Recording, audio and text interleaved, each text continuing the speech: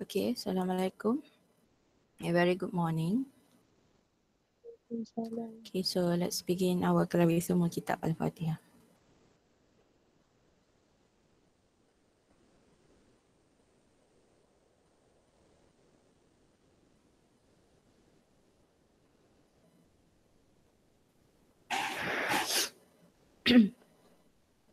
okay, so uh, today uh, I will continue with chapter 3. Okay, so uh, but before that, um, I would like to ask you, uh, because tomorrow uh, you have a quiz right at 10 o'clock. Itu tak? Ada pukul 10. Ah. Yeah. So do you have uh, any class uh, at 10? Yes. Pukul 10 tu ada kelas eh? Ada. So meaning that we, uh, kita kena anjak lah ke belakang ya? Yes. Maknanya kelas pukul 11 akan jadi kelas pukul 12 ya? Betul? Betul. Okay. So tutorial tu tutorial S32 esok akan habis kunam lah eh. Oh, lambatnya. Okay, tak apa. Sebab saya semalam pun kelas habis kunam juga. Okay, so uh, you follow je lah eh, schedule tu. So anjak sejam ke belakang ke belakang eh. Okay. So, eh boleh nampak tak saya punya slide? Saya sebenarnya dah present saya punya slide. Boleh nampak tak? Nampak. Nampak. Okay, dah nampak eh. Okay. So, um, uh, last week, okay, we stop here, right? Uh, checkpoint six. Okay, but before that lah, eh, uh, sebelum kita continue, okay, I want to recap. Okay, so actually uh, for topic chemical bonding, okay, what you have learned previously, okay, you have learned how to write uh, Lewis uh, dot symbol, okay, ionic bond and covalent bond. Kita dah masuk until up 3.3. Okay, but for 3.1 Lewis dot symbol, saya nak betul-betul clearkan eh. Uh, why nanti saya akan tengok lah you all punya tutorial. Saya dah assign pada student untuk uh, jawab tutorial sebab uh, kelas saya semalam ada yang salah lagi. Lewis dot symbol. And then the ionic bond, apa beza? okay, uh, maksudnya for cation ion you have to remove the valence electron right? And then akan jadi just positive uh, charge. And then for an ion make sure kena octet kena ada uh, uh, all the dot symbols tu. Sebab kalau tak ada memang salah lah. Okay and then uh, you belajar ionic bond and then dia punya physical properties. Okay so ionic bond dia tak banyak sangat lah. And then of course the lattice energy. Lepas tu kita move to ion, uh, sorry, move to covalent bond. Okay, here, um, first of course saya dah explain on the how to write uh, Lewis symbol uh, for covalent bond uh, this one a little bit different from the ionic bond sebab dia sharing electron kan. So bila dia share maksudnya um, that's why you kena kumpulkan semua elektron, valence elektron. Tak kisahlah share dengan berapa banyak uh, uh, atom pun tapi dia akan share sama rata. Right? That's why first thing first for uh, drawing the Lewis structure for covalent bond is you kena kira valence electron total up kan and then baru kita distributekan the electrons. Okay? Um. ini kan? Ah okay. So total up distribute. First sebelum distribute you have to find the lowest electronegativity for central atom. Okay lepas tu distribute dekat uh, terminal dulu uh, the electrons. And then uh, sebelum distribute electron sorry you have to draw the single bond.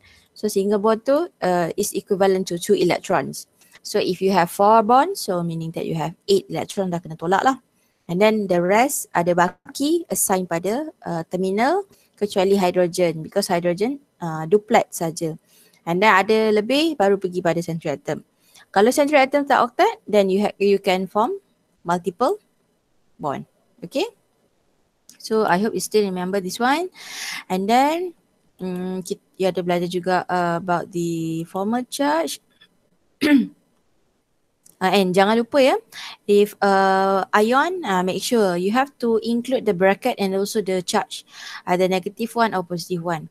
So meaning that dalam you punya calculation uh, of the valence electron mesti include the electrons.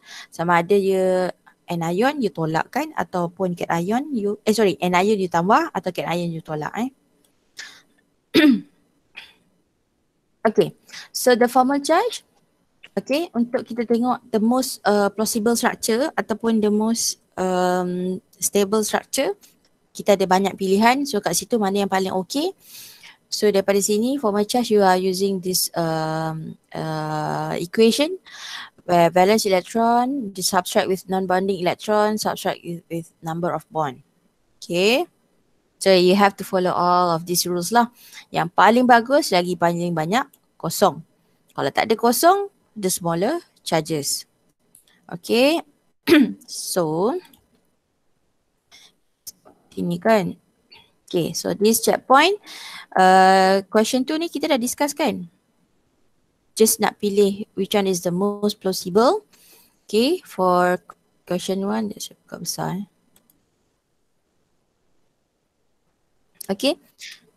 Okay, so kita pergi kat sini. Question yeah. one. So, first of all, before you nak dapatkan all of this formal charge, make sure you draw the best, uh, you draw the Lewis structure dulu lah.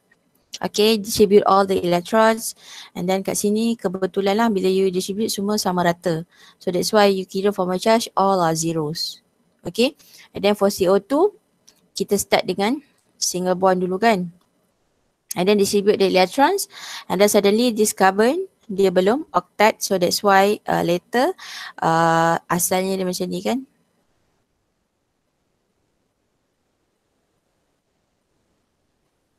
So sini akan bagi satu, sini akan bagi satu. So so dia akan dapat macam ni lah.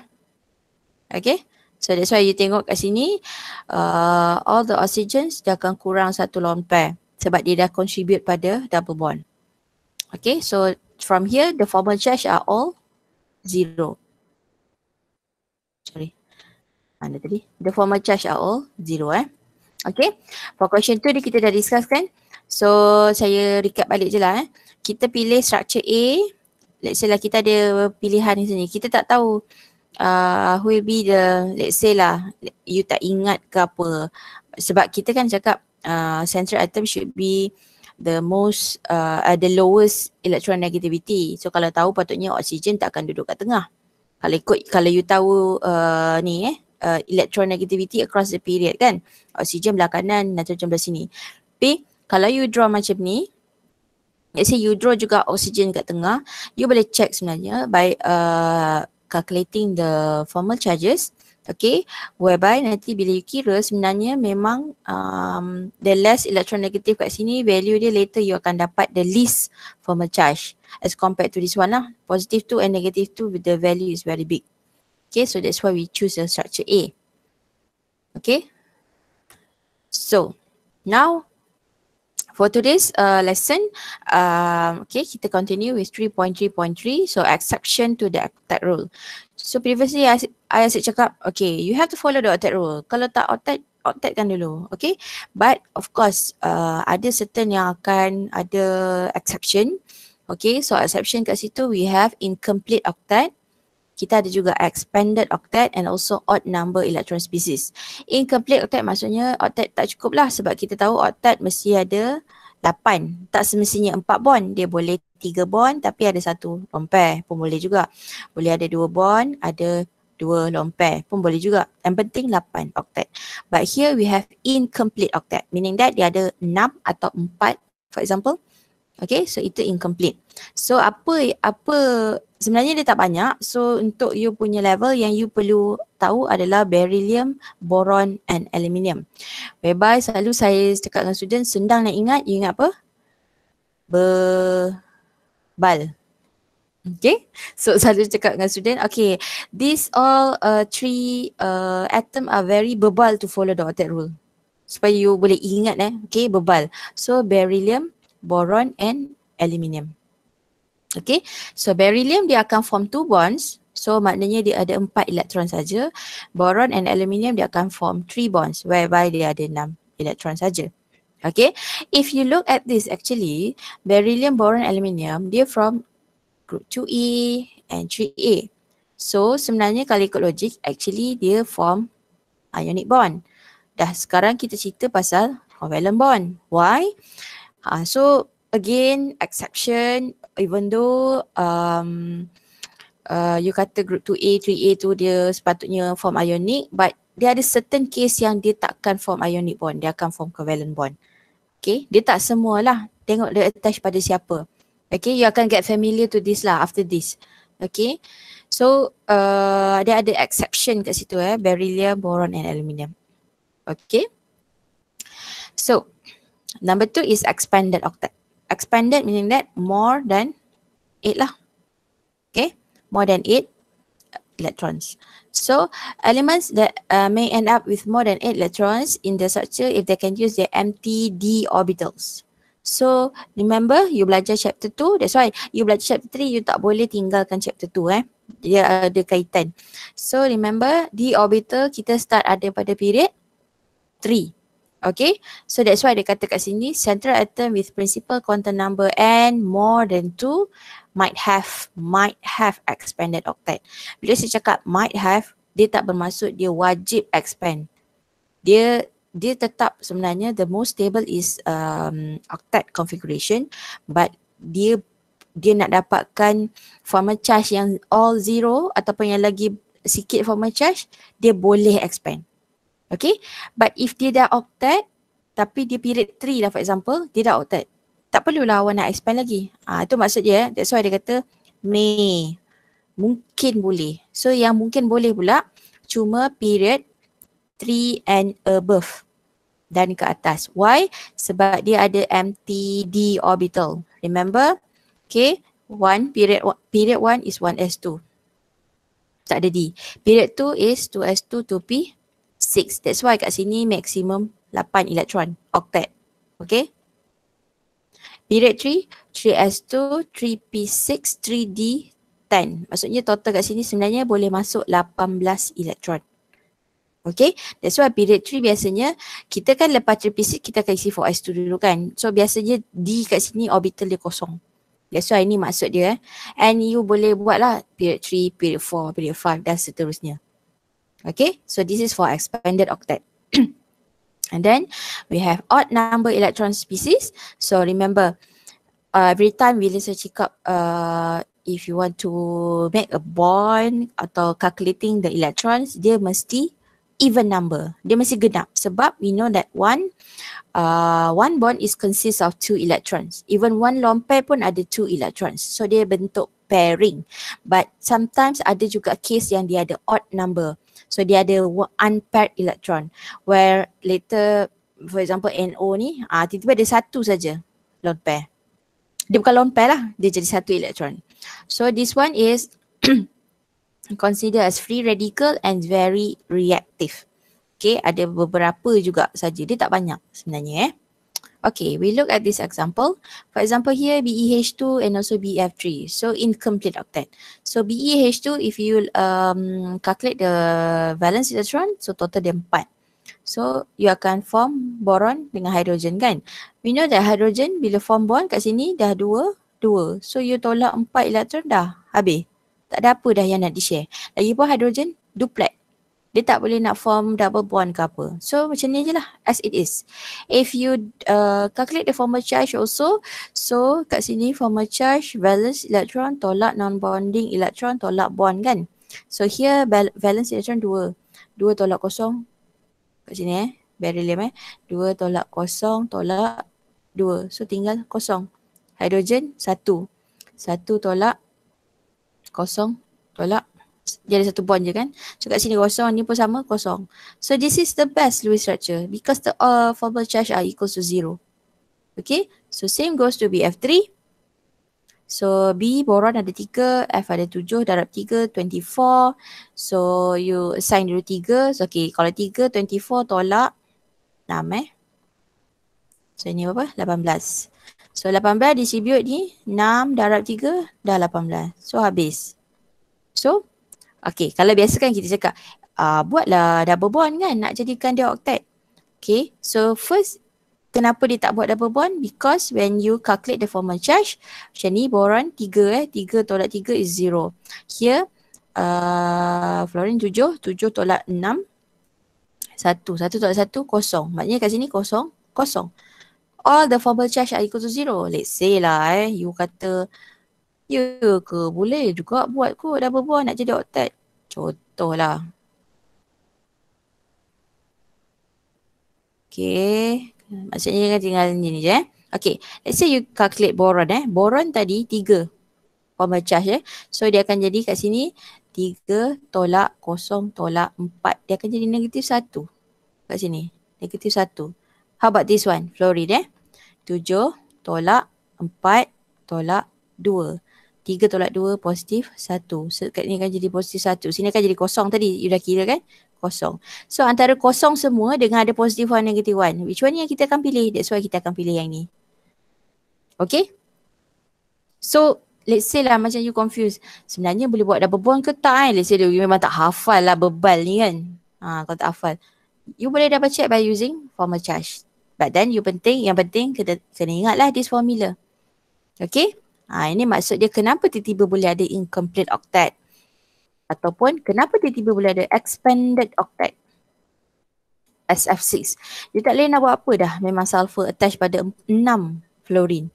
Okay. So you buatlah 6. So 6, 2, 4, 6, 8, 10, 12. Tolak. 12 elektron kan. 4 tolak 2, 6. 4 tolak 1, 3. So 3, 6, 6 eh. 6 kali 6 kan. So habis. Habis. So isi semua. You boleh double check lah by calculating the formal charge is actually equals to semuanya zero. Okay. Sama juga CLF3. Okay. You tengok kat sini. Nampak macam CL tu attach pada 3F je. Kan? Apa benda pula expanded kat sini. You kira sini. Okay. Saya padam dulu. Ni eh. Uh, 21 plus 7, 28. So actually sebenarnya, okay kita tolak 2, 4, 6. So tolak 6. So ini akan jadi 22. Betul ke? Betul eh? 22 tolak dengan 18. 4 eh. Ha. So 4 ni dia baki eh. So that's why you akan letak pada central atom. Sebab yang lain dah penuh. So kat sini tengok okay dah ada tiga tapi tiba ada extra lagi dua. So maknanya ni sebenarnya adalah expanded octet where dia ada two lone pairs with three bonding pairs. Total dia ada sepuluh elektron. So sepuluh dia dah lebih daripada lapan. Okay. So that's why you tak boleh simply kata oh ni bukan expanded octet ni sebab dia attach pada tiga je. No. You have to check. Calculate dulu. Oh rupanya ada dua lone pair pada central atoms. Okay. Okay, odd number. Contoh, bukan no eh, NO eh, N attached to O. Okay, NO. So, NO ah. You tengok kat sini boleh nampak dah. Nitrogen 5, oksigen 6 kat sini. Total kat sini you dah nampak dah dia bukan even number. Dia bukan even number. Dia odd number. Yang ni saya cakap kalau boleh check juga. Kalau you kira uh, total dia dapat odd number, you double check sama ada dia betul-betul odd species ataupun sebenarnya you salah kira. Biasanya student akan selalu tertinggal macam ni. Sebenarnya NO minus, dia terlupa tambah charge. Kalau lupa tambah memang you akan dapat odd species. Ha, pada NO minus dia bukan odd species eh. Dia complete. Okay, so you boleh double check kat situ. So in this case, uh, odd dia Okay, because kita distribute pada oksigen dulu. So that's why uh, odd dia adalah biasanya pada central atom lah. Okay, kita buat macam kita buat biasa uh, untuk uh, kita pembahagian elektron. But this last tu yang baki yang tinggal tu satu letak pada N pula. Okay. So, uh, please try. I give you uh, four minutes. Sebab dah ada EN kat sini kan. Ah, ada empat ni. Cuba jawab dulu. Lewis structure and identify the octet rule exception. You bagi tahu A ni apa, B apa, C apa, D apa. So nak tak nak memang you kena draw dulu Lewis structure. I give you 4 minutes. Kalau ada soalan boleh terus interrupt je eh. Open your mic. Unmute. Tanya eh.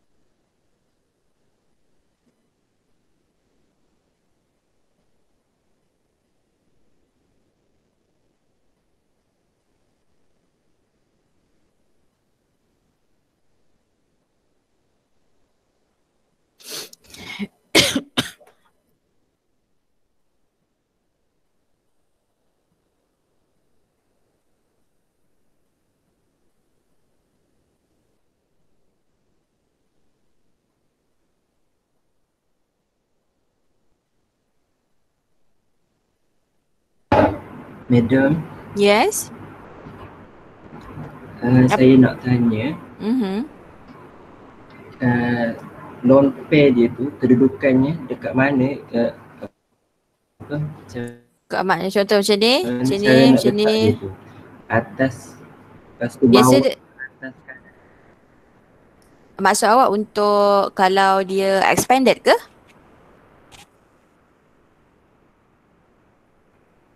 uh, bukan uh, in general sebab tadi saya nampak uh, oksigen dia ada dua pasal long pair satu dekat Mm-mm. atas satu dekat bawah yang uh, yang ni lepas tu yang Haritus ada Kiri kanan. satu dekat atas satu sebelah kanan Ah.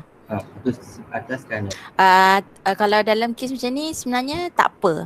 Uh, as long as biasanya kita tahu dia sebenarnya kena 8 kan. dia mesti dua uh, uh, dua atas dua bawah dua kiri dua kanan. Tapi bila dia buat bond uh, so bila buat bond kat sini so ini tak ada. So kalau ikut patutnya lah logiknya. Patutnya sebenarnya kalau saya kan kat sini asal dia macam ni kan. Allah jap eh. Susah pula terpadam.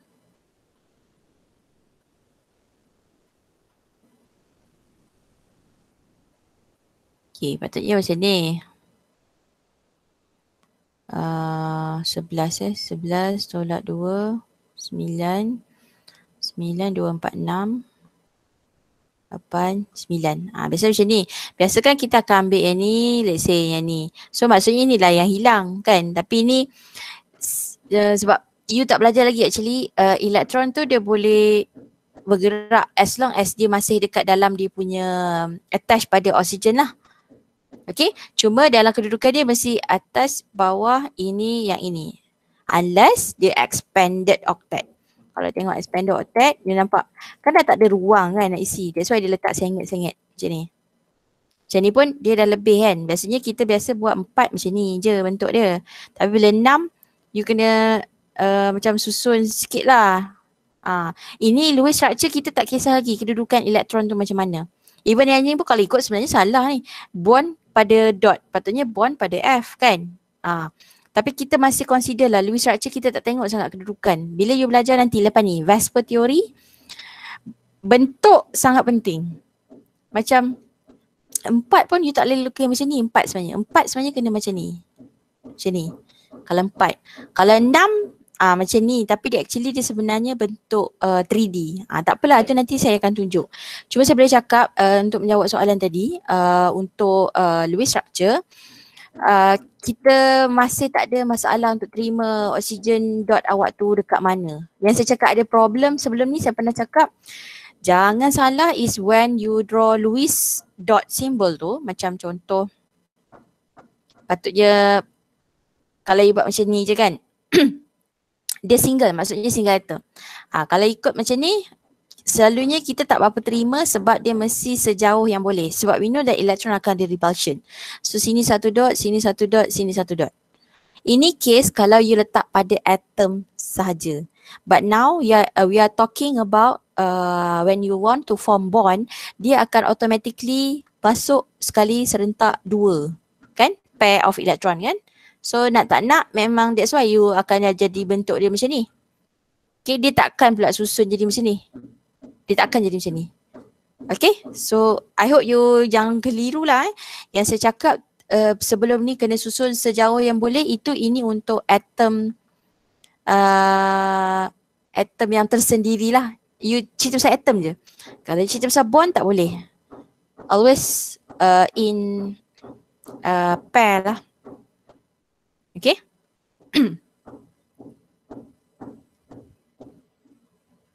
okay, dah siap ke ni? Okay, thank you Miss. Kita check eh. Okay. So first, of course, uh, you have to examine who is the central atom. Okay, untuk A, uh, SClF5, SClF. So S yang paling kecil, so this is the central atom eh. So S is the central atom. So NO2 logiknya N lah. Okay, 3 ke 35. So N, saya letak macam ni dulu eh. BFCl, so B paling rendah, 2. Boron, ClO2, Cl lah. Ya, 3 dengan 3.5. Okay. So baru kita buat bond. Okay. so for SCl4, S tu sendiri memang awak tengok, uh, sorry, SCl5. So awak tengok kat sini pun dia dah buat 6 bond.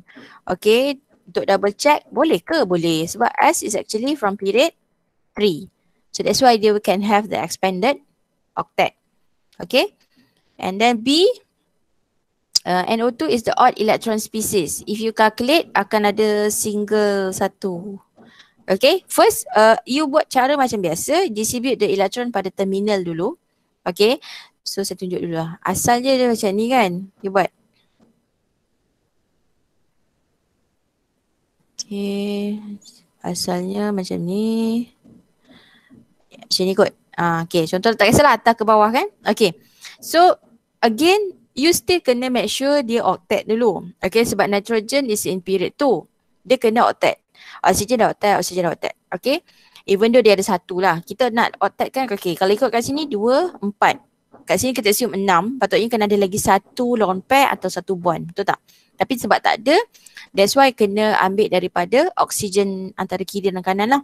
For example here. Dia donate kat sini. So that's why dia akan dapat double bond.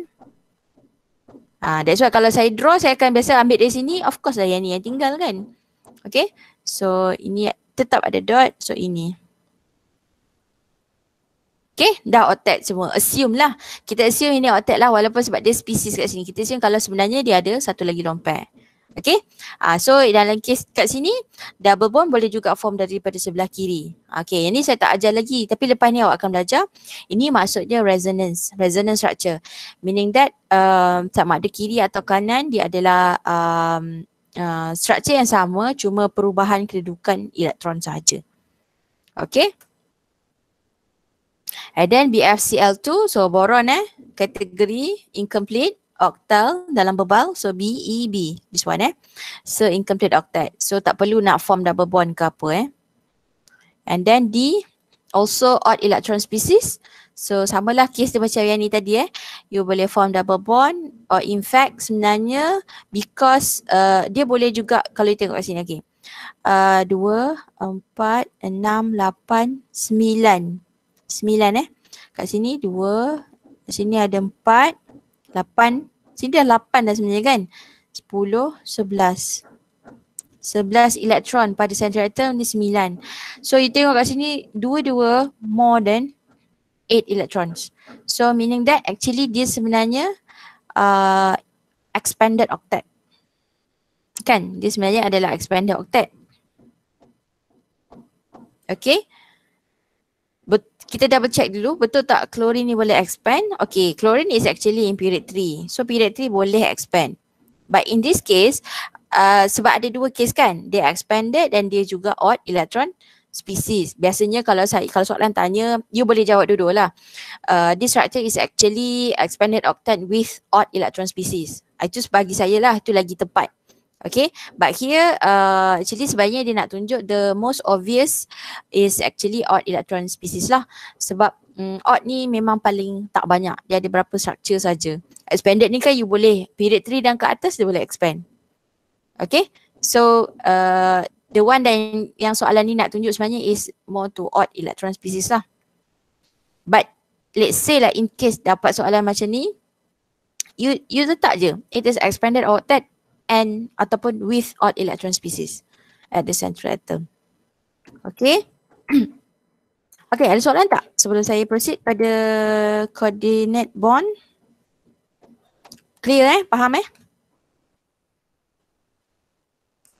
Okay. Saya assume semua faham lah. Okay. So, uh, here now we move to coordinate bond. Apa benda pula bond ni? Kita dah ada covalent bond, ada ionic bond. Even dalam covalent bond kita ada coordinate bond. So coordinate covalent bond is formed when both both bonding electron. Remember, bonding electron is actually double bond. Eh sorry, uh, uh, dua electrons right? So kita belajar sebelum ni covalent bond sharing. Satu daripada ada A dengan B, satu dari A, satu dari B share. But here coordinate covalent bond is actually uh, the sharing but uh, the electrons dua-dua tu datang daripada satu atom saja.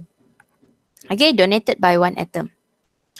Okay, dia contoh macam ni. Saya suka compare, saya buat analogi lah eh. We have ionic, we have covalent, now we have uh, dative lah betul ya. Coordinate bond ataupun dative bond. Okay, so let's say kita bagi analogi uh, A and B. A and B. Okay, contoh let's say uh, A ada apple, B ada orange. Okay, for ionic kita tahu dia transfer. Transfer maksudnya let's say A dia nak transfer dia punya apple kepada B. So dia bagilah. So dia bagi apple pada B. So A tak dapat apa-apa. Dia sedekah lah eh, dia bagi. So itu adalah ionic. Transfer. Transfer without dia ada apa-apa. Tak ada tinggal apa-apa. Okay. But for covalent bond, okay, A ada apple, B tadi ada orange. Dia akan share, dia nak share. Dia ada apple, dia ada orange. Dia nak rasa orange B, B nak rasa apple A. So dia duduk sama-sama A and B, dia potong, dia bahagi dua, dia bahagi sama rata. So that A dapat apple and orange, B pun dapat apple and orange. Okay, remember itu covalent lah. That's why covalent syarat pertama dia, you kumpulkan semua valence elektron baru you distribute. Sebab dia dah share. Maknanya tak kisahlah elektron tu ada banyak elektron, eh elektron pula sorry, atom tu banyak elektron, yang atom ni kurang elektron tapi end up dia share sama rata. Itu covalent. Okay, dative bond, A apple, B orange. Okay, dia nak share ni. Nak share uh, tapi uh, uh, eh sorry, sorry. Contoh A, eh, contoh data dia lain sikit. A and B, okay. A ada apple, A ada orange. B tak ada apa-apa. Tapi dia nak share. Dia tak nak makan seorang-seorang. A tak nak makan seorang-seorang tapi dia nak bagi juga kat B. So A ada uh, apple and orange, dia share dengan B, dia makan sama-sama. So nampak tak kat sini, actually dative ni dia combination uh, ionic and covalent. Dia share tapi dia datang dua-dua daripada A. B tu terima saja. Ha, B ni sedap lah kan. Ha, dia tak payah contribute apa-apa tapi dia boleh dapat. Okay and dalam masa sama A pun dapat. Saya rasa yang paling kesian ionic lah sebenarnya. Betul tak? Ha. So you faham macam tu lah. So in this case uh, yang akan donate uh, elektron kita panggil electron pair donor lah. Yang akan receive electron pair acceptor. So uh, bond dia pula bond eh biasa kan kita buat bond macam ni kan? Macam ni lah bond. Kalau negative bond bond dia akan jadi macam ni. Arrow. Maksudnya arrow tu mesti pointing towards acceptor. So donor donor yang akan donate this is the acceptor. Okay, arrow. Kalau you buat arrow macam ni, so kita tahu B adalah donor. A adalah acceptor. Okay, so, so that's why kena ada arrow ni lah. so, apa ciri-ciri electron donor? Must have at least one lone pair, at least lah. You tak boleh ambil daripada bond. Okay, bond pasal dia dah buat bond. Tak boleh usik dah sebab dia dah share dengan another atom. So, at least lone pair. At least eh, untuk donatekan elektron. And then acceptor at least dia ada kosong ada empty uh, orbitals untuk dia terima elektron tu. Paling senang sebenarnya ni lah. Ini of course dia kategori acceptor. Sebab uh, macam boron kan ada tiga. Dia boleh terima lagi satu sebenarnya. Sebab kita tahu biasanya octet kan. Uh, in this case dia uh, this can consider as acceptor. Ataupun cation ion. Also can consider as acceptor. Sebab dia kurang elektron. Kalau donor, uh, anion boleh. Sebab dia banyak elektron. Okay. So, contoh kat sini. Formation of NH4 plus ion. NH4 plus is actually combination between NH3 and H plus. Okay. So, if you draw the Lewis structure, basically nitrogen have one lone pair. Okay. So, ada excess kat sini and then H plus memang tak ada elektron langsung dah. Dia H plus. So dia nak combine dengan H plus, boleh. So this lone pair can form bond. So this lone pair kat sini dia jadi bond. Okay, so this bond is actually because uh, dia sharing tadi tapi dia yang bagi elektron tu. So that's why dia buat dalam bentuk arrow macam ni. Uh, where we call it as dative bond. So meaning that here ni H plus kan sebenarnya ni tak habis lah. Kalau saya structure dia nanti you akan dapat ni H Akan kekal lah kan tak usik. Ini akan jadi arrow, ini akan jadi H. The whole structure normally we will draw like this. Okay, sebab dia NH4 plus kan. Memang asal dia actually kita tahulah positif ni sebenarnya actually daripada H plus. But the whole structure normally we will uh, draw like this lah. Uh, macam you buat polyatomic ion, okay, you have uh, square bracket with the charge. Okay. Ada contoh lain? Let's say lah, tadi cation. So ni we have NH3BF3. Okay, so dia ada combination actually between NH3 and BF3. Dia combine eh. okay, so if you draw NH3 again tadi ada satu lone pair pada central. So dia boleh jadi donor eh, electron donor. Here BF3 dia kategori incomplete octal kan, bubble. So here boron, dia incomplete octet so ada empty. Boleh masuk lagi dua elektron kat sini. So that's why yang ini akan pergi kat sini. Okay, ini bukan masuk data bond eh, dia pergi dulu kat sini where dia akan form macam ni lah. So kita tahu arrow ni menunjukkan uh, nitrogen tu yang akan jadi donor. So daripada donor pergi kepada acceptor. Okay, you combine je lah NH3 BF3. Okay. Okay, so in the this dative bond, we also can found um, dimer. So what is dimer? Okay, saya so, familiar kan perkataan polymer? Polymer is actually um, um, apa ya? Structure that have uh, datang daripada repeating unit we call it as monomer. Mono mono maksudnya satu kan? Polymer poly maksudnya banyak. So ada banyak monomer link together dia jadi polymer. Here dimer dua maksudnya dua monomer link together. Okay dia link pula through dative bond Okay, ya, ni masuk dimer eh. So for example, we have Al2, Cl6. It is actually combination between Al, Cl3 and Al, Cl3 combine. So macam mana nak combine kat sini? So from here, uh, sebab dia combine dengan structure yang sama kan. So here, this one can become aluminium kan? Bebal eh. Ni eh. So of course, this one is acceptor. Ini pun acceptor. Dah macam mana pula dua-dua acceptor ni kan? So kat sini, Cl itu sendiri akan jadi donor. Okay, so dimer dia memang lain sikit, dia combination antara dua. So a, a donor and acceptor dia adalah dekat dalam dia punya structure dia sendiri. So if you look at this, okay, dia akan jadi structure macam ni. Actually this one, this is a one dim one monomer. This is one monomer, monomer number dua.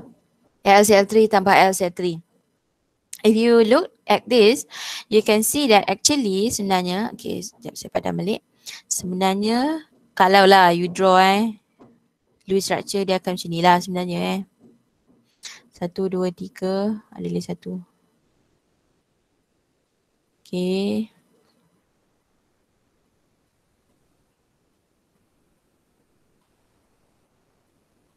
Satu, dua,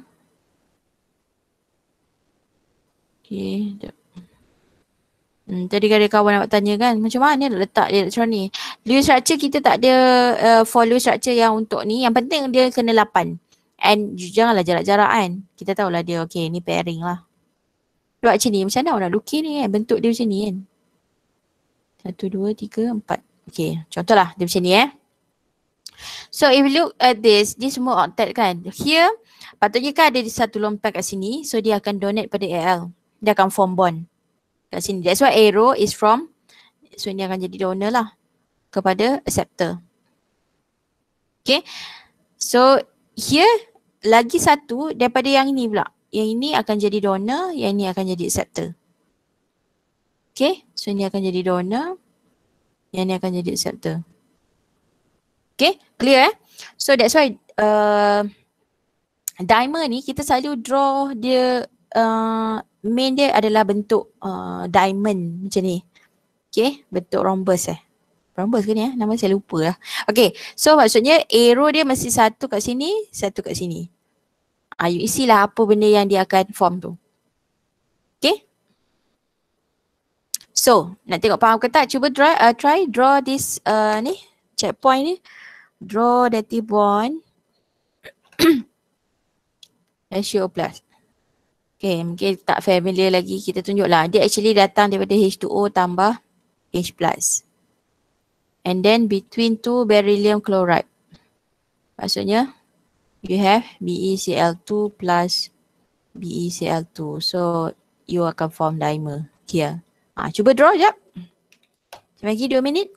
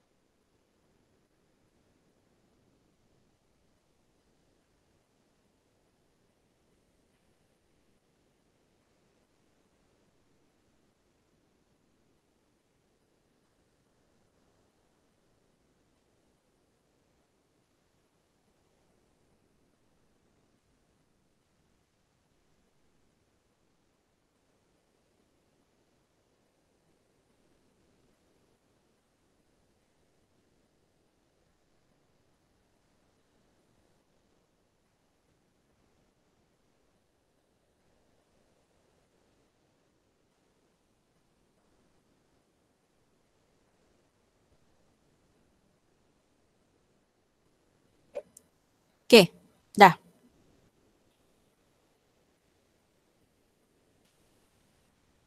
So, uh, dia, dia tak tunjuk. Dia nak dia nak structure je eh. Oh, dia nak dative one je. So, tak perlu lah tunjuk daripada H2O tambah H. Tapi, nak buat tu kan maksudnya you mesti kena ada uh, overview kan. Maksudnya, you nak buat dative bond dari mana ke mana kan.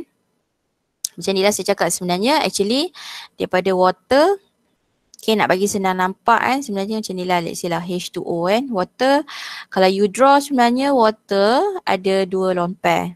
Okay and then you tambah H plus kan. So this lone pair lah for example yang ini yang akan buat dative bond kat sini. So that's why dia akan dapat macam ni lah. Okay so arrow so this is H. So lebih jelas dia akan jadi macam ni lah H plus. Okay so this is uh, for HCO plus So we know that here is actually donor and here adalah acceptor. Okay, betul apa? Uh, BeCl2 combine together eh. Ah, so macam ni lah. So BeCl2 sama jugalah basically if you draw BeCl2 sebenarnya kat sini uh, ada 8 kan octet lah sebenarnya macam ni. Okay. So kita tahu ini ada ada empty, ada vacant lagi. So CL ni lah yang akan jadi donor. So ini akan jadi acceptor. Okay. So that's why arrow tak boleh salah. Arrow mesti come from CL to BE and here from CL also to BE.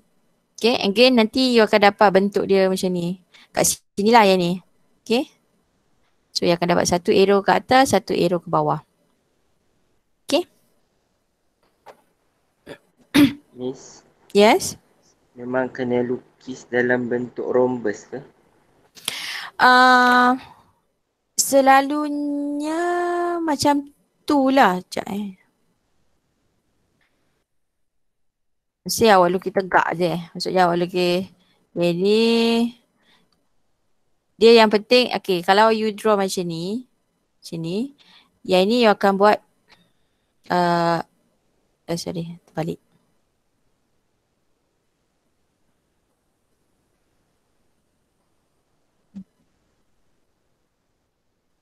Okay, yang ini arrow kan. CL, CL. So at least saya rasa kalau you Sekejap eh. Buku no. Padam dulu. Selalu kalau memang awak tengok kat mana-mana buku lah eh, dia memang akan draw macam ni. Sebab sebenarnya nak bagi, macam mana saya cakap eh. Nak bagi uh, senang nak nampak okay. So basically sebenarnya the rest tu you salin balik je. Yang ini yang yang akan you tunjuk sebenarnya kan uh, dia punya dative bond. Tapi saya rasa sebenarnya tak ada masalah if you draw macam ni. Okay, yang penting uh, arrow tu adalah from CL to BE, this one from CL to BE. Kalau ikut sepatutnya boleh lah sebab bila you saya ingatkan dia akan jadilah bentuk tu kan. So um, saya tak ada jawapan untuk tu tapi memang saya saya cakap tapi kalau saya lah I still can accept this one. If you draw macam ni ke maksud awak awak draw macam ni ke? Ah, ya yes. Hmm. As long as for me lah as long as uh, bentuk tu masih macam ni kat sini. So maksudnya akan ada satu telajak keluar CL kat sini, satu telajak keluar kat sini. Okay? Yang penting Okay, arrow tu kena betul. Hmm. Okay. Sekarang buku apa? Okay. So now uh, we move to uh, the next subtopic resonance structure. So what is resonance structure? So tadi tadilah saya ada mention sikit pasal resonance structure kan. So resonance structure is actually when there are more than one Lewis structure for a molecule that differ only in the position of electron. We call it as resonance structure. Okay. Uh, macam tadilah uh, macam mana? Saya lupa lah. Macam ni contoh. Satu uh, single bond dekat belah kiri. Lepas tu uh, dia uh, double bond dia belah kiri, single dia belah kanan. So ini awak awak ubah kedudukan double bond kan kiri dengan kanan. And of course dia punya lone pair pun akan berubah sebab kalau okay, kalau kanan dia, dia akan tinggal jadi empat. So ini akan jadi enam kan. Kalau ini terbalik, kat sini akan jadi empat. Kat sini akan jadi enam. So maksudnya kat sini biasa kita akan mention uh, this we have three lone pairs, one bonding pair, right? So tapi here we call it as two bonding pairs with two lone pairs. Kan beza tu kan? Tapi awak tak ubah pun sebenarnya uh, structure of atom tu. Yang berubah cuma elektron.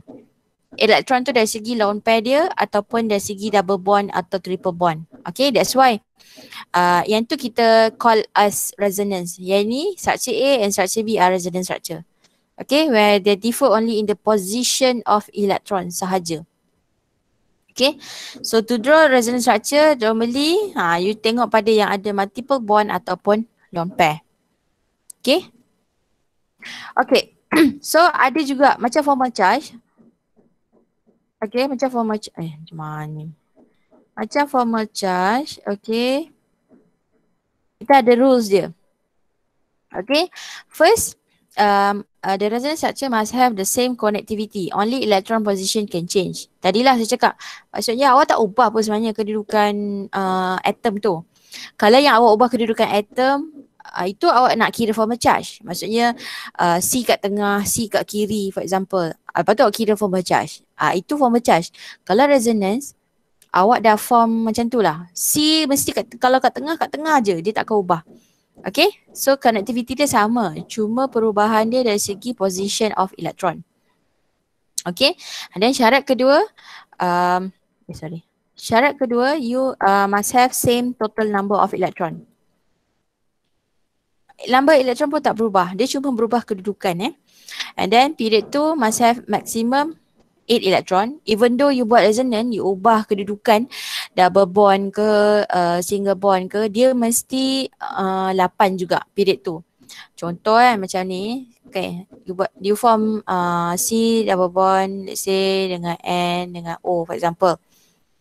Okay, macam ni double bond. Okay, dia masih ada lagi pair for example. Macam uh, nak nak tukarlah kat sini jadi triple bond. Boleh ke? Tak boleh sebab C period tu. Period tu dia mesti 8 octet. Kat sini dia dah jadi dah jadi ada 10 elektron. So tak boleh. Okay, that's why dia kata maksimum walaupun awak nak ubah-ubah kedudukan double bond tu, dia mesti 8 saja. 8 ni including bonding and non-bonding. Maksudnya lone pair dan bonding lah. Okay, tapi third row, ah third row ni boleh. Ah, that's why tadi ada contoh tiba-tiba ada satu resonance tu 9 elektron, ada satu tu 11 elektron. So maksudnya dua-dua ni dah lebih tapi dia masih you boleh play around lagi kat situ. As long as you dapat uh, the best uh, formal charge lah sebenarnya eh. Okay, resonance ni dia, dia tak terasing eh, dia akan combine dengan formal charge tu juga. So that's why uh, you tak boleh macam okay formal charge is formal charge, resonance is resonance. No. Actually end up nanti later dia akan combine together to get the best Lewis structure. Okay. So again, ah ni that's why ada tiba ada mention about formal charge kan. So total formal charges for neutron molecule must be zero and for ion mesti sama dengan charge dia lah. Okay. So tengok contoh. Ozone eh. Structure of ozone O3 is actually can be drawn like this. Okay. Let's say like you dah draw Lewis structure. You oxygen eh. Oxygen period 2. So dia mesti octet.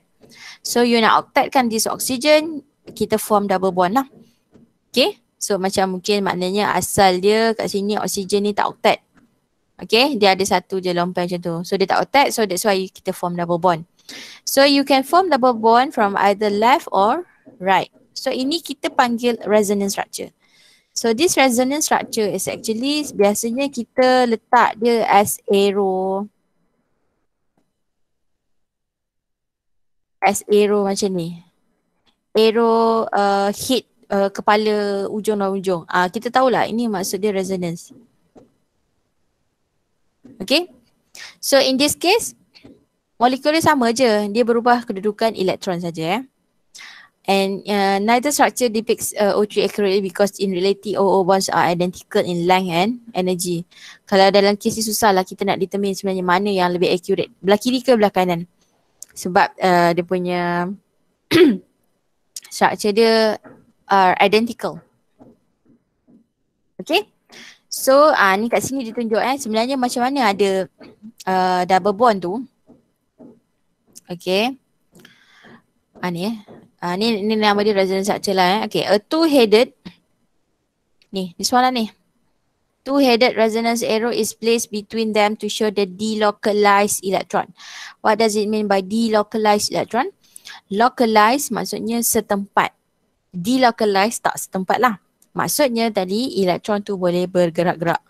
Dia boleh lompat-lompat jump from one atom to other atom. Okay, macam in this case contohlah. Structure one. You dah ada double bond kat sini. But then tiba-tiba C kata saya nak pindah lagi sini. Nak jadi double bond. Sebab dia boleh je pergi sini kan. Tapi macam saya cakap, ini mesti octet. Actually bukan tengah saja, semua kena octet. So bila dia pindah sini, kat sini oksigen dah jadi tak octet kan. So that's why yang ini akan patah balik pindah ke sini. Ke uh, on the left side. Okay. So that's why bila dia dah pindah sini, now yang ini akan jadi double bond, here akan jadi single bond dekat A. Okay. So C ni tadi double bond. So dalam masa sama, that's why benda ni dia tak habis. Dia akan, okay tiba yang ni pula kata, okay saya nak double bond lah. So yang ini dia nak pindah sini. So again, bila sini dah double bond, apa yang kita boleh buat, this double bond akan patah balik kepada C untuk jadi lone pair. Ha, macam tu lah, itu maksud resonance structure eh. Okay. To know your understanding, so maybe you can try uh, do this checkpoint 9, question 1. Draw the possible resonance structures for nitrate, ion and carbonate. Okay, dia kata possible structures. So possible maksudnya hmm, ada berapa sebenarnya possible structures ni? Ah, boleh try? Cuba jawab dulu, saya bagi 5 minit lah kot. Kalau awal lagi bagus. Cuba jawab dulu.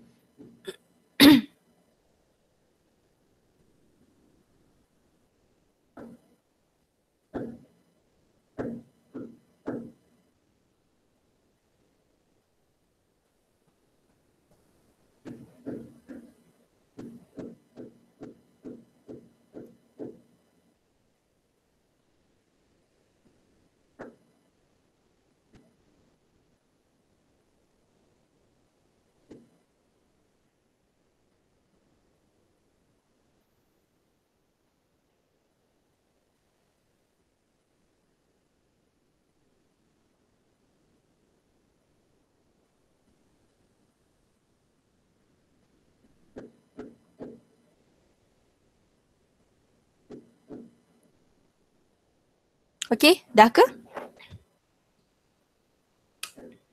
Okay, kita try eh. NO3 minus. Okay, first, let's say lah eh, kita draw lah one by one eh, sebab takut jawapan dia dah terus resonant. So, what uh, the first step is, of course, um, you have to calculate valence electron. So, nitrogen we have five. Okay, oxygen you have uh, six times three. Remember ada negative charge, so tambah satu elektron eh. So 18, 19, 19 tambah 5. 24 tu ke? Okay, lepas tu. So nitrogen lah, you boleh tengok sini eh. N dengan O, so dia akan jadi central atom. So N. Tolak berapa? Tolak 6 eh. Sebab ada 3 bond, tolak 6 elektron. So akan jadi 18. So 18 distribute pada terminal atom. Okay. Okay. 18 habis eh. Okay habis. So here ada uh, you tengok sini nitrogen dia tak octet. Okay that's why you have to form double bond or triple bond. Eh tak boleh lah dia kena double bond saja sebab ada tiga. So nak tambah lagi satu pair of electron saja. Okay so from let's say lah from here. Okay so okay Make sure eh, jangan lupa eh, ini mesti kena ada eh. So from here dia akan let's say lah saya ambil dari kiri kan. So dia akan donate electron. So kat sini akan jadi akan jadi double bond kan. So sini akan jadi oksigen, kekal. Okay.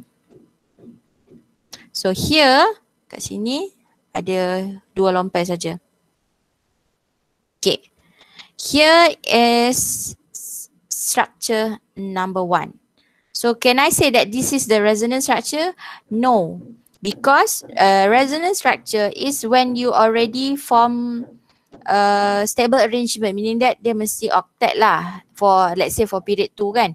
So ini dia belum octet kan, so dia belum resonance. Okay? Not yet. Resonance structure. So here is the uh, uh, the structure. So from here barulah kita dapatkan resonance structure. Baru baru saya buat arrow. Uh, okay, you buat dekat page lain lah. Okay, dekat uh, you dekat yang belah bawah pula. So here is the resonance structure. Now you boleh tukar kedudukan double bond. Okay, you draw lah eh. Lepas tu ada lagi satu. So dia akan jadi N bawah pula eh. Bawah. Macam tu. Ada lagi? Tak adalah. Ada tiga je kan? So how many resonance structure for nitrate ion? We have three resonance structure. Macam ni tadi eh. Again, saya cakap, this is not considered as resonance structure. Sebab dia belum octet lagi. You kena octetkan dia dulu. Lepas tu, baru you tengok, oh dia boleh berubah kedudukan dia. So daripada atas pergi kat bawah kanan, pergi kat bawah kiri. So total ada three resonance structure. Okay, bukan empat eh, tiga. Sebab soalan selalu juga tanya eh, how many resonance structure does uh, this compound have? So actually dia ada tiga. Tiga tu bila you dah form the very stable arrangement, then baru you uh, uh, ubah kedudukan elektron tu. Okay. Okay, untuk B, carbonate So sebenarnya sama jugalah macam case tadi. So carbonate for example here we have CO3 2 minus. Okay make sure eh this ion mesti letak. Okay. So ada double bond atas so you boleh tukar double bond belah kiri boleh juga belah kanan eh. Okay macam ni dia dia buat bentuk segi, apa ni nama bentuk ni trigonal planar. Okay so satu atas satu kiri satu kanan. Okay. And actually uh, soalan minta telefon, uh, looking for charge ke? Tak ada kan? Draw je kan? So let's say lah soalan suruh. Okay. Uh, draw uh, uh, include the former charge. So you include lah. So actually bila kalau you perasan sebenarnya kalau if you check on the uh, apa ni namanya uh, international book lah selalu je uh, dia letak yang ada value saja dekat setiap item. Kalau tak ada maksudnya kosong lah tu. Ni kosong, ni kosong. Nak nak confirm boleh check. Oksigen 6, 6 tolak non-bonding electron 4 tolak 2 bond. So equals to 0. Kan? Carbon 4 tolak 0 tolak 4 equal to 0. So that's why dia 0 dia tak tulis. Kalau yang ni 6 tolak 6 tolak 1. That's why dia equals to 1 here. Okay? Tapi untuk awak kalau suruh tulis, tulis lah. Jangan tak tulis eh. Kosong tulis lah, kosong. Okay, buku je selalu kosong dia tak tulis. Okay. So, for the most stable structure, okay, so all atoms must obey the octet rule. Again, kalau you tengok sama je macam untuk formal charge kan. Okay, but here is when we specific to resonance structure, zero formal charge, of course yang ni paling kita suka lah. And then kalau tak ada, at least smaller formal charge. And then here, this part eh, nanti saya akan tunjuk. Uh, sebelum ni dekat formal charge macam tak berapa nampak kan masa you calculate. Uh, but for uh, this resonance structure, you akan ada nampak. Let's say lah you ada certain uh, structure you nak form. Mana satu yang nak pilih? Okay, dia formal charge tu macam you dah draw resonance. Daripada resonance tu sendiri, you can choose the best uh, Lewis structure. Okay, so let's say uh, nanti saya akan pergilah kalau ada contoh saya akan tunjuk yang ni. Ada, ada contoh kejap lagi eh. And then sum of formal charge equal to zero or ionic charge untuk ion and then when possible choose a structure that have different charges on adjacent atom. Again ni saya dah pernah tunjuk hari tu sebab contoh tak ada lagi. For example lah sini hydrogen, sini hydrogen. Adjacent atom, let's say lah sini negative one, sini zero. Kita kita kalau boleh, kalau ikut kat sini tak logik lah. Kalau dia sama mestilah negative one. Ha, ni kalau boleh, uh, mungkin kalau different atom eh. So abaikan je. Abaikan yang tadi.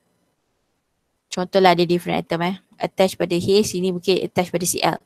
Kalau boleh, bila ni maksud saya kita tak favor kalau dia adjacent atom dia sama charge. Kalau boleh different charge lah. Ini maksud kat sini lah. If possible. Okay. okay. Ah, okay. Kita nak check ni tadi. Nak dapatkan the most stable structure. Contoh kat sini N2O. Okay, so and dia dah bagi beritahu kat sini arrangement dia N N O. Meaning that ada satu N kat tengah, sebelah kiri N, sebelah kanan O.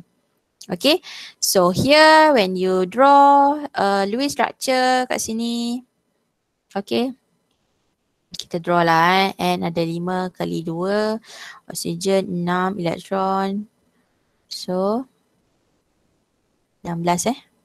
Tolak 4 bond equal to 12. So 2, 4, 6. Eh 12. 4.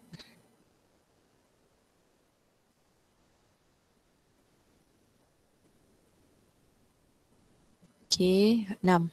Okay, 12 habis eh. Habis. So nitrogen kat sini eh, dia dia tak octet. So bila dia tak octet, dia ada banyak cara. Kat sini sama ada sebab dia baru ada dua bond. Sama ada dia boleh form double bond.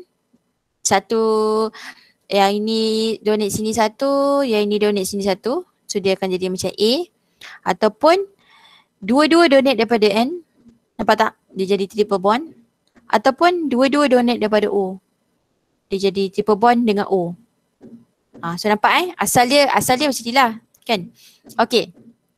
So, dia akan jadi ada isu. Sebelum ni, contoh sebelum ni tak ada isu sebab you buat ozon, CO3, apa tadi? NO3 sebab semuanya oksigen. So, you ubah macam mana pun uh, uh, semua oksigen. In this case, kalau you tengok sini, ni dah berbond dengan N, dah berbond dengan O. Ni triple bond dengan N, single bond dengan O. Triple bond dengan O, single bond dengan N. Dia tak sama sebab different atom. So, to get maksudnya you kena pilih which one is the most stable daripada resonance yang dia dah bagi ni. So to get this you have to calculate formal charge. Okay, so if you calculate formal charge, remember formula eh. Valence electron tolak non-bonding electron lompen ni tolak bond. Okay. so if you kira lah kat sini eh negatif satu, positif satu, sini kosong. Okay, ini kosong, satu, negatif satu, dua, negatif dua, tambah satu, tambah satu. Okay, let's say lah, you dah kira formal charge. Saya tak nak ajar dah pasal formal charge eh, patutnya you dah tahu. Sebelum you pilih the most stable, biasanya kita buang mana you tak nak. Sebab ada tiga pilihan kat sini. So mana nak buang, kita akan buang C. Why? Sebab tak ada zero and tiba-tiba ada besar nombor kat sini. Terus buang lah. Okay, now. Now uh, the charges are between A and B. Okay, so between A and B here, Okay. So you tengok kat sini. Kat sini ada kosong, sini pun ada kosong. Ada negatif satu, ada negatif satu, ada satu, ada satu. Macam mana dah? Sama. Pembagian dia sama rata. Ha, kat sinilah datangnya rules. You kena tengok rules yang ini. Ini. Nombor tiga. Rules nombor tiga ni sangat penting. Negative formal charge on the more electronegative atom. This one eh.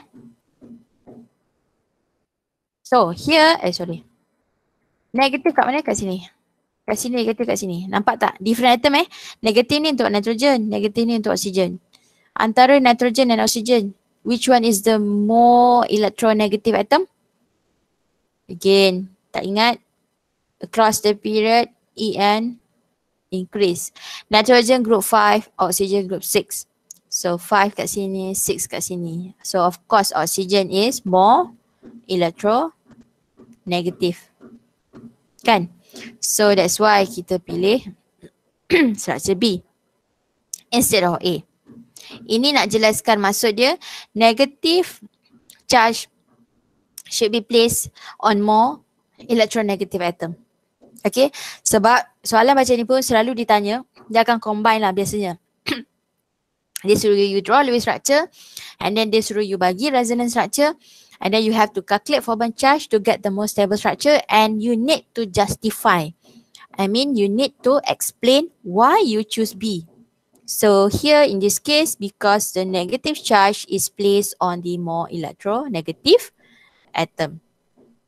Complete set kat situ. Soalan macam ni uh, is very common dalam exam or test. Dalam kes awak ni bukan test, uh, sebab test awak chapter 1 je kan. But maksud saya the previous lah. Very common lah soalan ni eh. Dia akan combine all together. So that's why dia bahaya kalau you dah salah formal charge, you salah resonance kat situ akan salah the most stable structure. Dia akan, dia berkait eh. That's why you need to be careful. Okay, so I give you time uh, for this. Please do this. Draw the possible resonance structure for NCO and choose. Indicate the formal chart. Okay, kira formal chart ni, ni macam soal exam lah ni assume eh. And then label. Ah, saya bagi 3 minutes. Cuba jawab jap.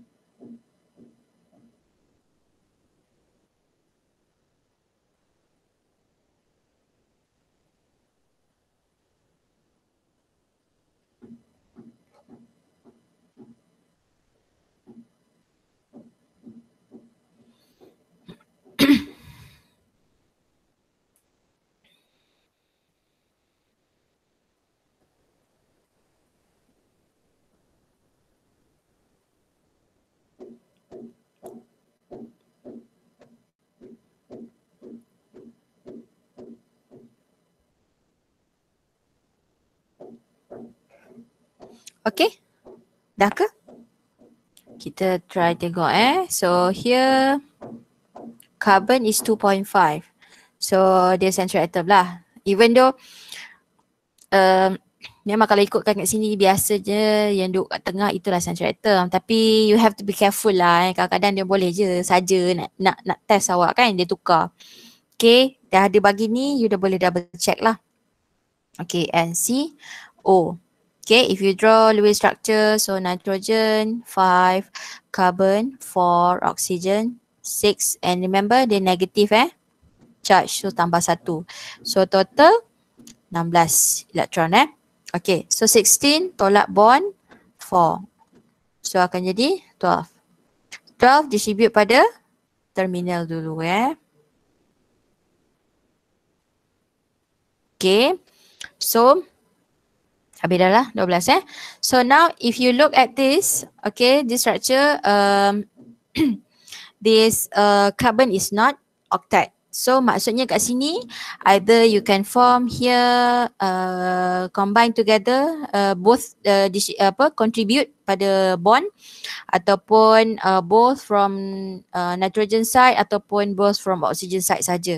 So ini belum jadi resonance eh. So maknanya you akan dapat either N double bond C double bond O ataupun N single C double triple bond O ataupun N triple bond C O. Sini kan? Yang penting kena octet lah. Ini maksud saya jangan pula tiba-tiba tambah lagi pula bond. Ah ini dah lebih pula kan? So ni salah. Okay? So you akan dapat structure like this. Okay, triple bond O, double bond dua-dua and triple bond N. So soalan dia kata indicate the formal charges. Okay. Eh. So indicate the formal charges here.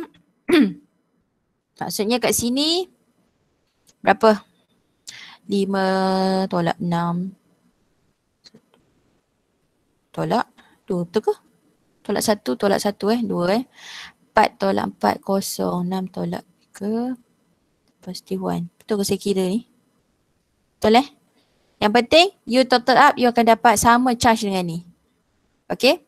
So here 5 tolak 4 1 tolak 2 4 tolak 4 kosong 6 tolak 4 2 tolak 2 kosong.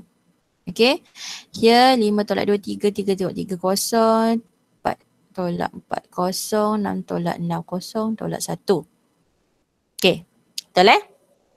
Okay So from here uh, You dah letak formal charge And then Make sure eh uh, kalau you buat resonance tadi kita buat lah arrow macam ni. So kita tahu this is uh, this uh, all these three structures are resonance structures eh. So you nak indicate kat sini you kena uh, pilih lah. Pilih untuk dibuang dulu. So kita kat sini ada negatif tu so kita dah terus apa-apa kita dah uh, omit uh, this structure one eh. So between structure two and three saja. So again sama charge dia kan 001 eh 00 negatif 1 00 negatif 1. So negative one is at uh, N ini dekat O. So again kita pilih negative charge at the more electronegative okay atom eh. So ni eh negative charge at oxygen which is the, the most electronegative atom as compared to others. Okay, itu untuk justify punya answer lah. Okay, any question so far? Kita kita patutnya habis pukul apa eh? Pukul 10 kan? 9.50 kan? Okay. Ada soalan tak? Tak ada eh? Tak ada. Okay. Okay. So now uh, we move to types of covalent structure. So covalent structure ni pula uh, dia ada dua jenis. Satu yang biasa, yang simple covalent structure uh, biasanya kita call it as molecular structure. Dia sebenarnya covalent bond, ada uh, covalent bond tapi kita tak eh sorry. Kita tak panggil dia covalent structure. Kalau covalent structure biasanya dia biasa include with uh, this um, word gigantic or giant covalent structure. Dia covalent tapi dia sangat besar. Okay, contoh diamond, graphite, uh, apa, silica, SiO2. Okay, kalau you tengok sini, molecular structure yang simple lah you biasa buat, yang biasa lah you belajar SO3, HCl semua tu. The melting point is actually very low as compared to ionic.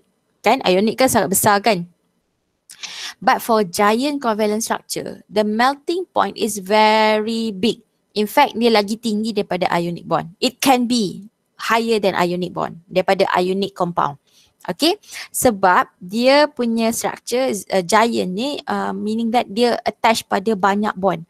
So melting and boiling point ni actually um, lagi tinggi uh, melting and boiling point is because lagi tinggi dia nak putuskan uh, bond.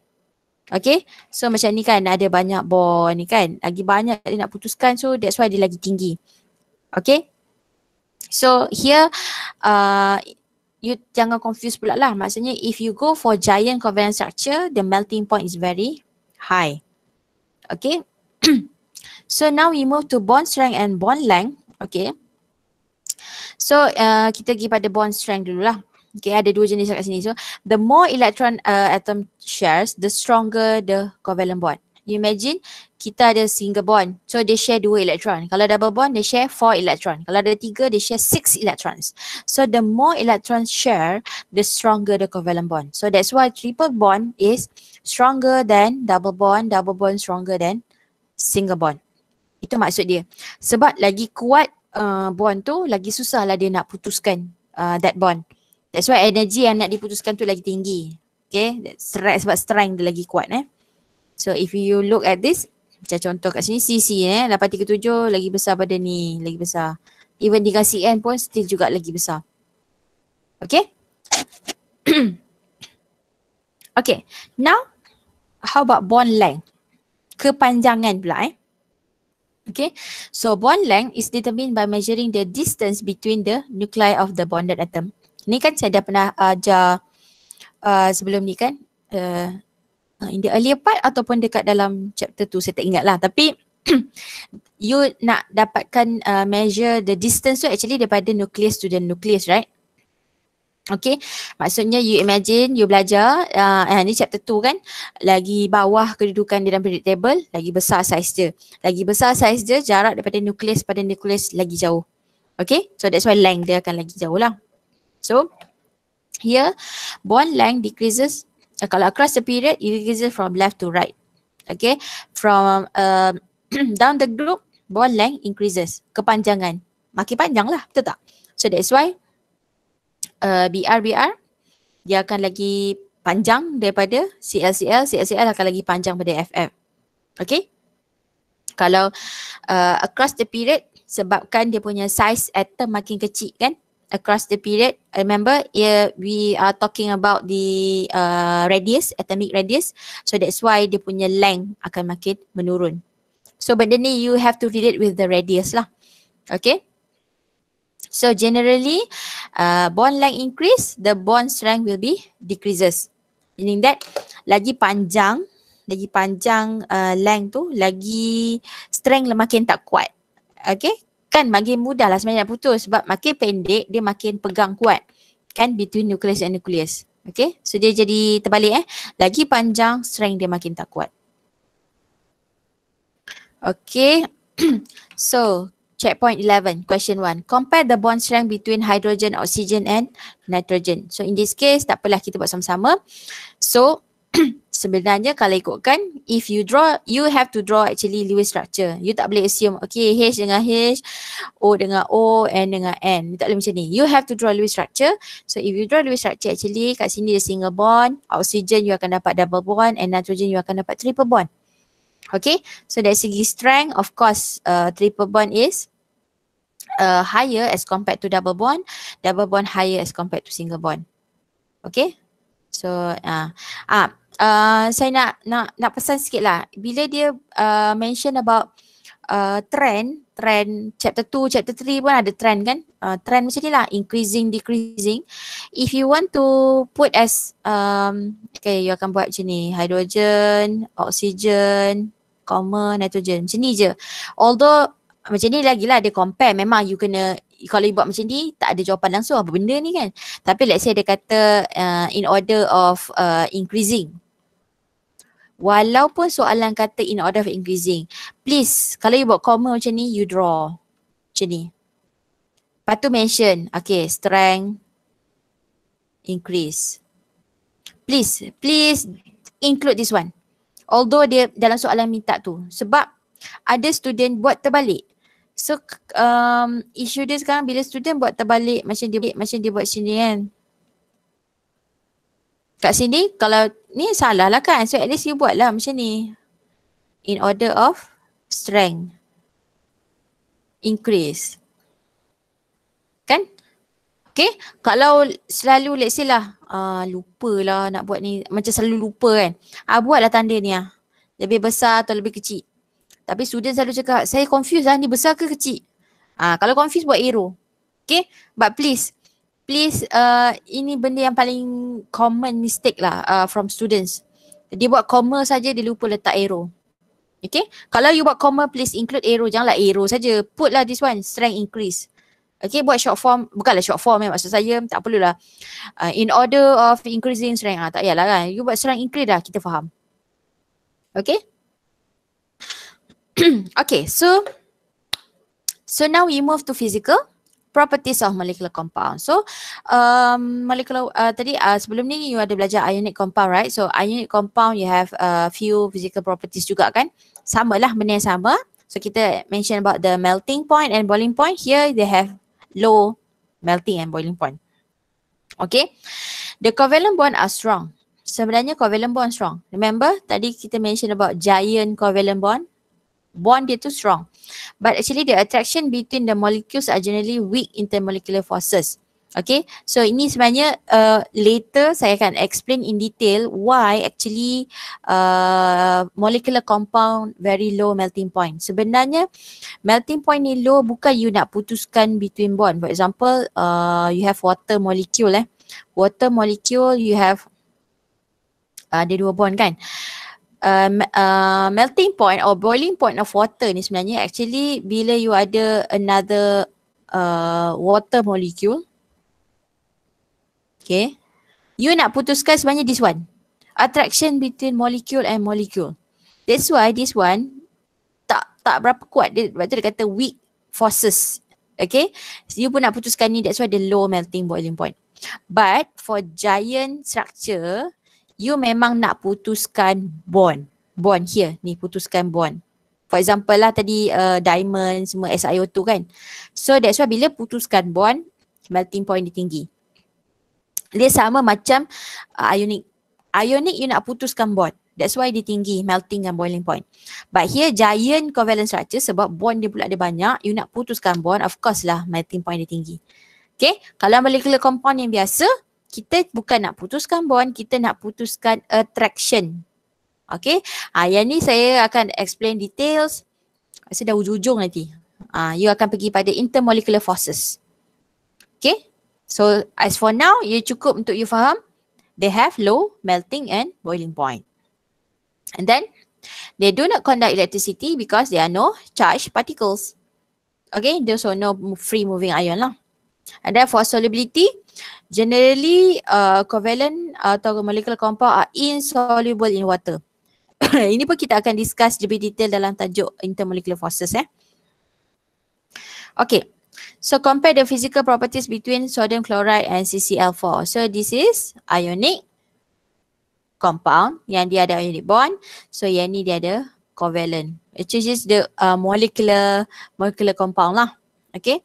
So in terms of uh, melting point, of course lagi tinggi, ini rendah, solubility in water, ini boleh soluble in water, this was uh, not soluble in water. While conductivity, it can conduct uh, electricity but only in uh, molten and uh, aqueous state, right? Okay. Uh, solid dia tak boleh kan? But for CCl4, tak boleh langsung. Okay. ha, inilah. You senaraikan lah kat sini eh.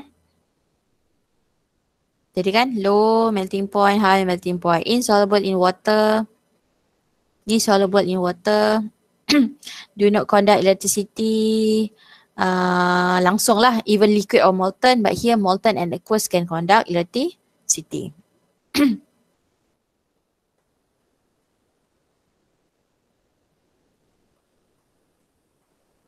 okay, ada soalan so far?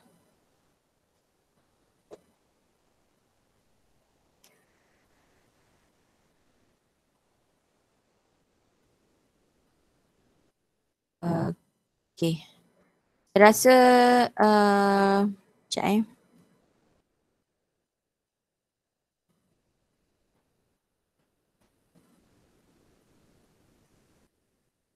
Okay, saya rasa 3.4 ni saya tak nak masuk dulu. Sebab dia dah totally different uh, topic. Okay. Uh, so maybe as for now saya nak tanya dulu lah ada any question so far? Ada apa-apa nak tanya tak?